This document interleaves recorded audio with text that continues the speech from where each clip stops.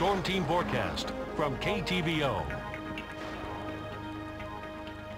We saw a very pleasant day. Temperatures in the lower 80s. Right now, 83 and mostly sunny skies at the Kirksville Regional Airport. A little breezy as well out of the north northeast at 14 miles per hour.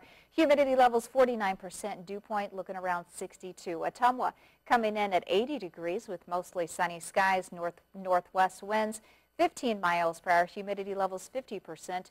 Dew point 60. Again, a great day. Uh, no precipitation. Unfortunately, we just got a little bit yesterday, about 19 hundredths of an inch. Still haven't received any more reports across our viewing area to know how much rainfall other places received. So probably, I'm guessing, around a quarter of an inch possibly a little bit more uh, in the thunderstorm areas because not everyone received a thunderstorm yesterday. As we're heading into the regional satellite radar, again, we've got uh, beautiful, mostly clear skies. We're going to continue that for tonight. Dipping down to a little cooler, 59 degrees as your overnight low. Winds are out of the north at 5 to 15 miles per hour.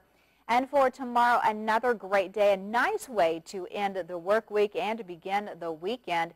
81 degrees. We'll see a lot of sunshine, northeast winds 5 to 10 miles per hour. And for tomorrow night, another wonderful night, just a little bit on the cooler side, 54 degrees. Haven't seen those conditions in quite some time with mostly clear skies and winds will remain on the light side.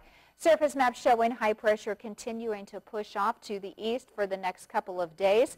As we're heading into Friday night, we do have a low pressure system that's bringing uh, some precipitation into the central Rockies. This is going to advance eastward and affecting us as we're heading into Sunday. That's when we're going to see the next chance for showers and thunderstorms.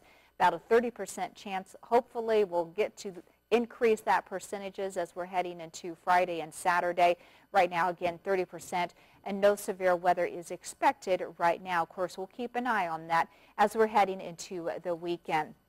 But again, we are going to see some very pleasant temperatures for the weekend. 83 degrees on Saturday. Very nice. Another wonderful sunny day. 62 as your overnight low Saturday night.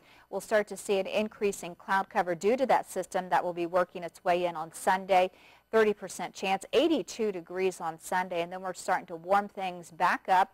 85 degrees on Monday. We'll see a mix of sun and clouds both on Monday and Tuesday.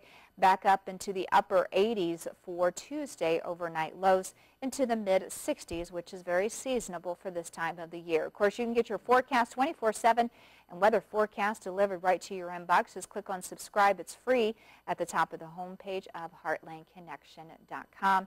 Again, uh, for the month right now, we're about 4 tenths of an inch in deficit, close to a half inch, and a little bit over 5 inches in deficit for the year. So mm. again, we really, really need the rain. Unfortunately, with the rain that we have been getting, it hasn't been that much. Maybe small amounts. Small amounts, yeah. A quarter of an inch here, half inch there. Yeah. I mean, anything we get is nice, but it's still not helping. We're being choosy, aren't we? I know. I know. I'm asking for a lot. Every little bit helps, yeah. but we do need more. All right, thanks, Teresa. Coming up in sports.